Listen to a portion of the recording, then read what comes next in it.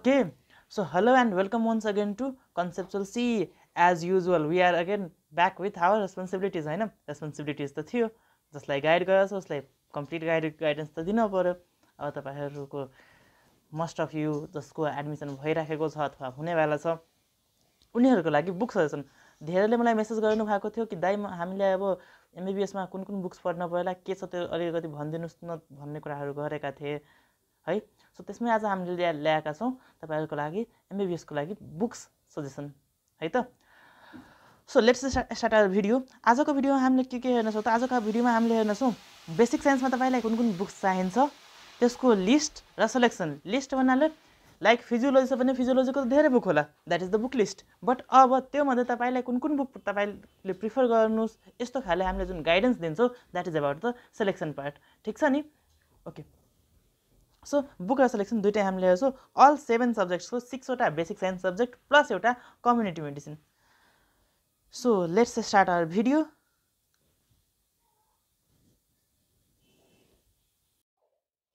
so अब हामी आयो कहाँ त? इन्ट्रोडक्सनमा इन्ट्रोडक्सनमा you will have some subjects है इन द बेसिक साइन्स सुरुमा त टु इयर्सको के हुन्छ? बेसिक साइन्स हुन्छ जुनसुकै पनि युनिभर्सिटीमा त्यसपछि हुन्छ क्लिनिकल साइन्स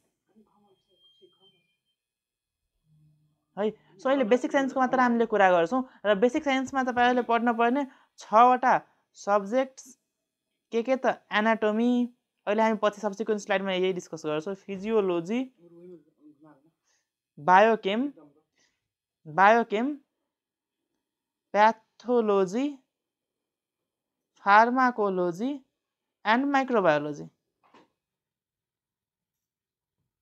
सिलेबसको बारेमा डिटेल चाहिन्छ भने हामी अर्को भिडियो ल्याउन सक्छौँ। यो भिडियोलाई लामो चाहिँ नतानौँ होइन?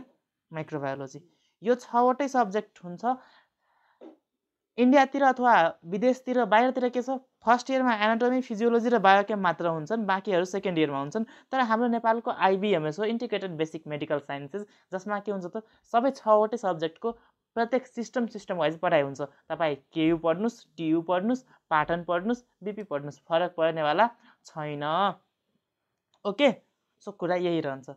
कर्णाली पनि इन्क्लुडेड अब फरक कहाँ पर्छ त इक्जामको मोडालिटीमा लाइक टियुको छ भने you will have to annual exams केयुको छ भने सेमेस्टर वाइज हुन्छ। बिपीको छ भने you will have block based exam and etc ठिक छ? सो खासै फरक त छैन होइन? अब आज म यहाँ तपाईँहरूको लागि बुक लिस्ट ल्याएको छु but always remember one thing all the books that are said in this video they are text books and they are the preferred other reference book कि त त्यो टेक्स्ट बुक छ एकदम भेरिफाइड टेक्स्ट बुक कि त त्यो preferred reference book छ है। मैले भन्दैमा यो बुक किन्न पर्छ त्यो जरुरी छैन। Don't hurry up to buy them on my suggestion please don't hurry up अहिले मात्र बुकहरू थाहा पाइराख्नुहोस्। पिडिएफ डाउनलोड गर्ने पढ्ने तर अहिले बुक किन्ने हतार नगर्ने। ओके हतारको काम सैतानको हुन्छ। ठिक छ नि? सैतान त हुनु न तपाईँहरू। So please mind that thing okay okay now come coming to anatomy anatomy भनेको यस्तो सब्जेक्ट जसमा रिलेट गर्न धेरै नै गाह्रो हुन्छ। इक्जाममा पनि सोध्ने भनेको त्यो रिलेट गर्न। द्याट इज रिलेसन कुन अर्गेन अरू अर्गेनहरूको रिलेसनमा कहाँ कहाँ छ? यो रिलेसन भन्ने कुरा एनाटोमीमा लाइफमा जति गाह्रो हुन्छ नि रिलेसन हो सबैले बुझिसक्यो कुन रिलेसन त्यति नै गाह्रो। एनाटोमीमा पनि हो कि रिलेसन भन्ने कुरा? है? सो एनाटोमीमा रिलेसन रट्न गाह्रो बुझ्न गाह्रो इमेजिन गर्न गाह्रो। सो सो अब चाहिँ एनाटोमीको लागि हामीसँग हामी सबैले हेरेको वेब सिरिजहरूमा इन्डियन वेब सिरिजहरूमा सुनाउने book B D Chaurasia fancy book ठिक छ इन्डियन बुक छ पढ्दा ठिकै हुन्छ इक्जाममा लेख्नलाई ठिकै हुन्छ बट भिजुअलाइज गर्न गाह्रो हुन्छ कि बिडी चौरसिया पढ्यो भने visualization is difficult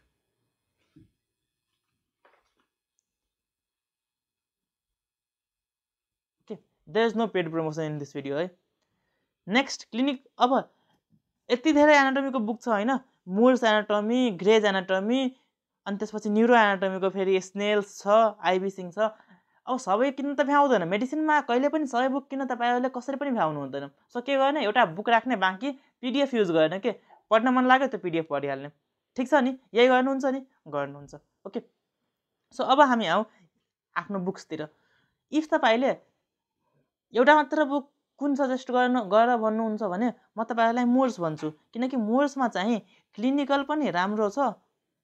क्लिनिकल राम्रो छ। अनि त्यसपछि डिटेल्स पनि छ। पिक पनि राम्रै छ। है एन्ड्रोइडमा जति धेरै राम्रो पिक थ्री डी पिक पिक्चरहरू हुन्छ त्यति धेरै हामी बुझ्छौँ। त्यही भएर आजकल एपको पनि जमाना छ। है? Okay. So next Gray's anatomy Gray's anatomy नसुन्ने मान्छे त एनाटोमी पढेकै छैन भन्ने हुन्छ है। कतै भाइभा साइमा फस्नुभयो अनि बाबु तिमीले कुन बुक पढेको थियो भनेर सोध्यो भने कहिले बिडी चोरसिया भन्ने होइन है भन्ने चाहिँ ग्रेज नै हो। अनि ए ग्रेज एनाटोमी पढाएर रहेछ भन्ने लाग्छ अनि।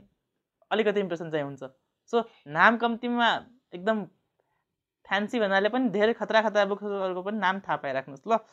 ओके अब ग्रेजको खासियत के छ भन्दाखेरि नि यो हामी नेक्स्ट स्लाइडमा अहिले हेरिहाल्छौँ है ग्रेजको खासियत। अहिलेको लागि तपाईँहरूलाई एनाटोमी बाहेक पनि न्युरो एनाटोमीको बुक चाहिन्छ स्नेल्स र आइबी सिंहको छ। If you prefer to read एकदम स्ट्यान्डर्ड खाले बुक जसमा मस्त फिगरहरू होस् स्नेल अलिकति चार्ट सार्ट बडी होस् फिगर अलिक कम भए पनि मलाई काम चल्छ आइबी सिंह इन्डियन बुकहरूमा मेन त इक्जाम बेस्ट एकदम राम्रो कन्टेन्ट हुन्छ है। So decide on the same factor है। सो अब हामी यहाँ फिगर पिक्चरहरू हेर्न सक्छौँ। This is B D B D Chaurasia for anatomy यसको चारवटा भोल्युम छन्।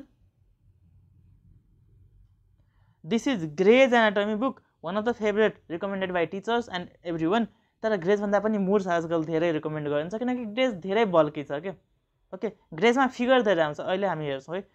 यो मुर्स एनाटोमी हाम्रो फेभरेट किनकि हामी यो बुक किन्छौँ नर्मली ओके यसमा क्लिनिकल केसहरू पनि हुन्छ पि फिगरहरू पनि राम्रो हुन्छ। ग्रेको फिगर हेर्नुहोस् मान्छेले एनाटोमीको बुक किन्छ नि एटलस किन्छ। ग्रेको फिगर आफूमै एटलसको काम पनि गर्छ। यस्तो राम्रो दामी फिगर त भे पाइयो भने you can really appreciate those thing है। So Greco figure is the most important thing this is about Gray है। फिगर यस्तो दामी दामी हुन्छ नि। पुरै छोडिदिनुहोस्। ठिक छ?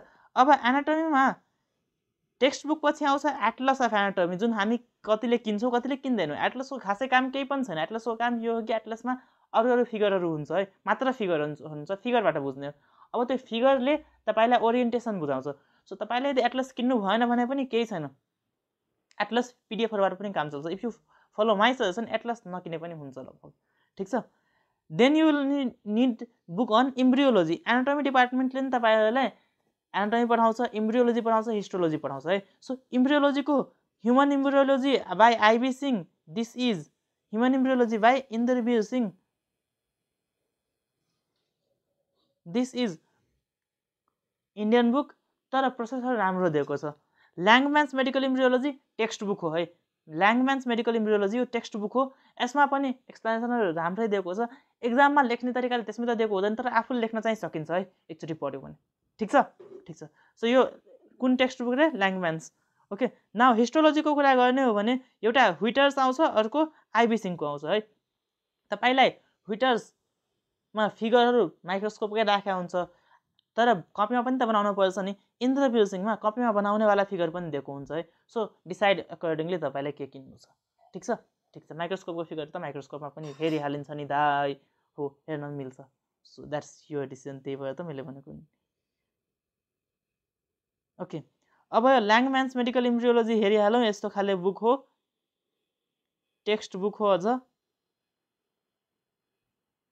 है? नाउ कमिङ टु फिजियोलोजी फिजियोलोजीमा गाइटनको नाम नसुने त कोही पनि नहोला।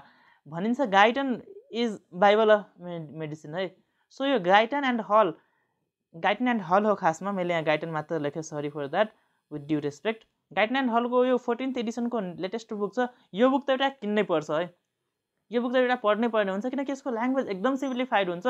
अनि internationally recognize text text book पनि यही हो।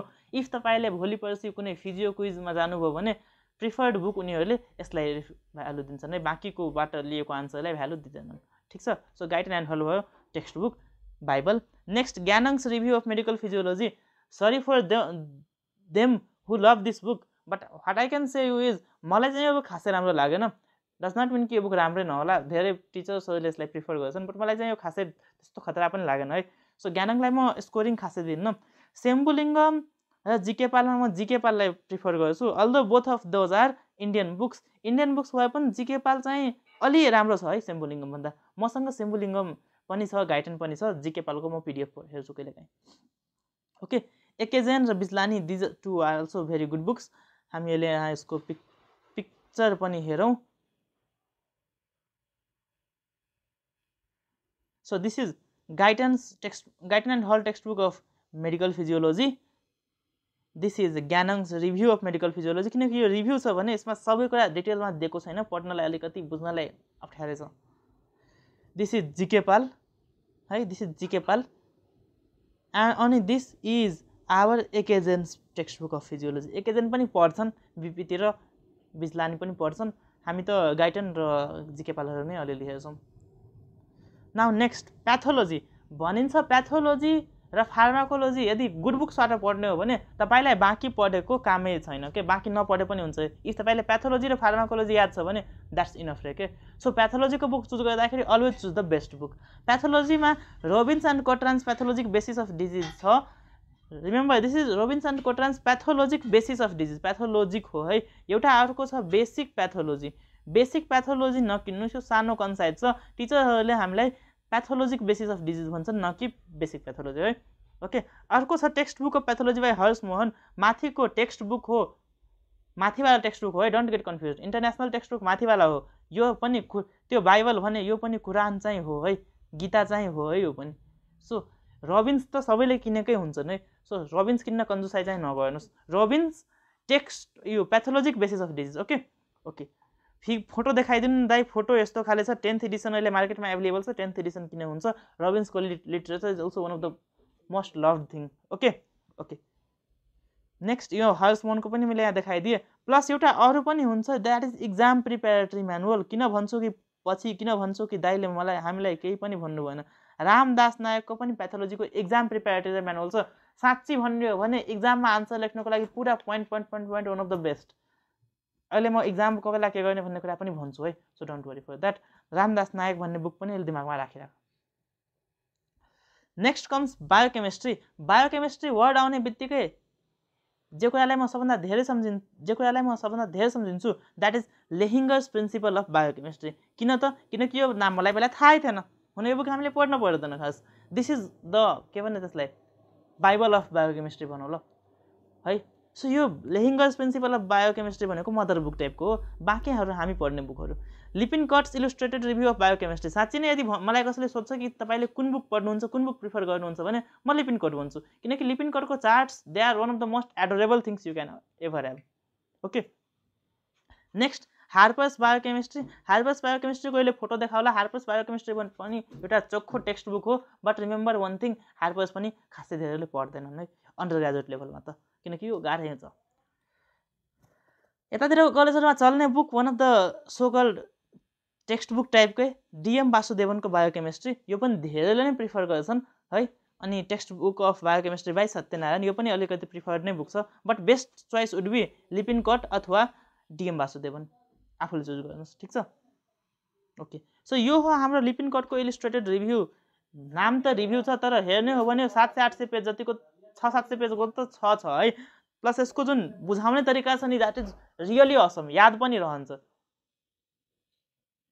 यो हार्पर्स इलिस्ट्रेटेड बायोकेमिस्ट्री मलाई खासै खतरा त लागेन किनकि मैले पढ्न नजानेको पनि हुनसक्छ बट त्यस्तै हो। दिस इज डिएम वासुदेवनको बायोकेमिस्ट्री। धेरैसँग हुने बुक चाहिँ डिएम वासुदेवनको बायोकेमिस्ट्री स्टिल लिपिनकोटको लेभल म्याच गर्न सक्ने चाहिँ छैन है। इजी पनि छ क्या लिपिनकोट सत्यनारायण बायोकेमिस्ट्री। मसँग भएको चाहिँ लिपिनकट अनि वासुदेवन सत्यनारायण तिनवटा छ हार्पर मसँग छैन है। अब फार्माकोलोजी मैले के भने त याद छ? प्याथोलोजी र फार्माकोलोजी जसले राम्ररी पढ्यो पक्कै पनि उसको सबै राम्रो। सो फार्माकोलोजीको सबैसँग हुने book essentials of medical pharmacology K D Tripathi यो बुक नकिन्ने कोही पनि हुँदैन नर्मली एक्सेप्ट त्यो एक दुई पर्सेन्टको एक्सेप्सन किनकि यसमा चाहिँ हामीलाई चाहिने सबै कुरा छ।